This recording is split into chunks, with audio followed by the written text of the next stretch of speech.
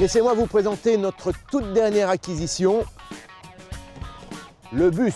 Incroyable expérience. C'est à bord de ce bus que nous allons réaliser la prochaine expérience. Un bus qui va être lancé sur cette piste de 700 mètres de long. Allez, en voiture tout le monde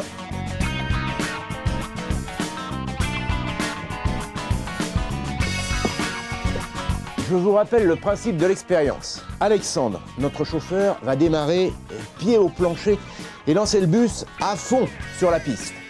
Au préalable, nous allons gonfler des ballons à l'intérieur du bus. Les uns avec de l'air, merci Manu, les autres avec de l'hélium. Merci Ingrid. Ça va bien se passer. Alors que va-t-il se passer lorsqu'Alexandre va freiner?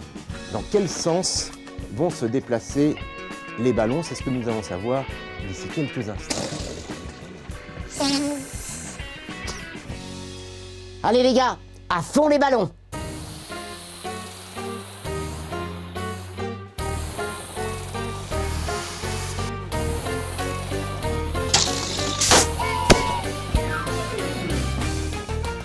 Ces deux ballons vont nous servir de référence. En rouge, le ballon gonflé avec de l'air en jaune, celui gonflé avec de l'hélium, de l'hélium qui, comme vous pouvez le constater, est plus léger que. Voilà, on va maintenant passer à l'expérience en elle-même. La première partie de cette expérience va consister à observer le comportement des ballons quand le bus fait des virages. Prêts les gars? Alors on enfile les casques.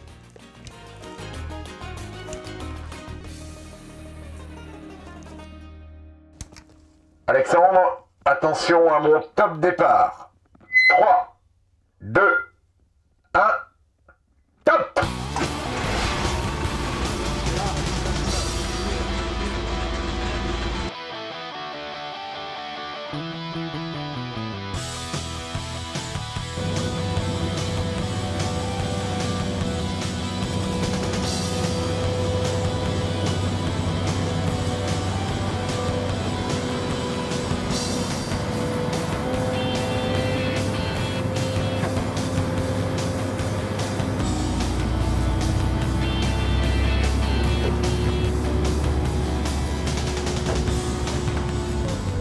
vu, quand le bus tourne d'un côté, le ballon rouge plein d'air part à l'opposé à cause de la force centrifuge, alors que le ballon jaune plein d'hélium, lui, suit le mouvement du bus. C'est bizarre, non?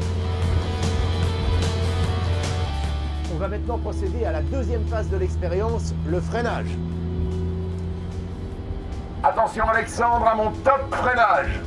3, 2, 1, top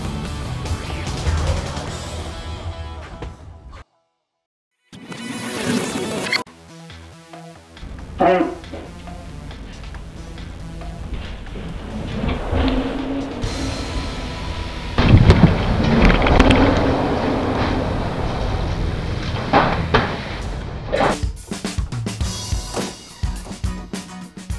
bien c'est très net. Les ballons rouges, ceux qui sont pleins d'air, se déplacent vers l'avant à cause de leur inertie, autrement dit l'énergie qu'ils ont emmagasinée grâce à la vitesse. En revanche, les ballons jaunes, ceux qui sont pleins d'hélium, se déplacent vers l'arrière du bus. Pourquoi? Eh bien, quand on y réfléchit, c'est assez logique. Vous avez tous fait cette expérience. Si vous lâchez un ballon d'hélium, il s'élève. En fait, c'est à cause de la pression de l'air. Et oui, la pression qui s'exerce sur l'ensemble du ballon. Cette pression est plus importante à la base qu'au sommet. En effet, l'air est plus dense en bas qu'en haut. Du coup, la pression de l'air qui s'exerce sur l'ensemble du ballon se résume à une force verticale dirigée du bas vers le haut. C'est la fameuse poussée d'Archimède.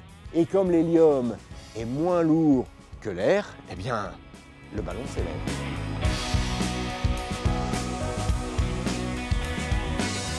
Bien, quand le bus freine, les ballons d'hélium subissent à peu près le même phénomène. Au moment du freinage, à cause de l'inertie, l'air se déplace vers l'avant du bus. La densité de l'air devient donc plus importante à l'avant qu'à l'arrière du bus et c'est la pression de l'air qui va pousser les ballons d'hélium vers l'arrière.